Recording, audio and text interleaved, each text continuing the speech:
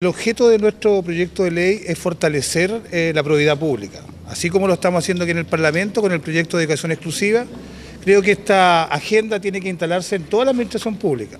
El Consejo de Defensa del Estado es el abogado del Estado, defiende causas millonarias en torno al interés de los contribuyentes y por lo tanto a nosotros nos parece que debería haber una separación tajante entre los intereses públicos que defiende el Consejo de Defensa del Estado y los intereses privados una muralla china. Y nosotros por eso hemos pedido que los consejeros, todos los consejeros, de ahora en adelante, tengan dedicación exclusiva a esas funciones y no compartan la labor pública con su ejercicio privado, que los conecta con intereses privados que en algún momento pueden producir conflictos de interés.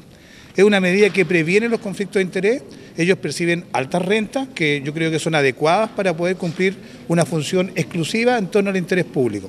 Y el objeto de nuestro proyecto de ley simplemente es sumarlos a esta agenda de probidad que toda la administración pública debiera respaldar.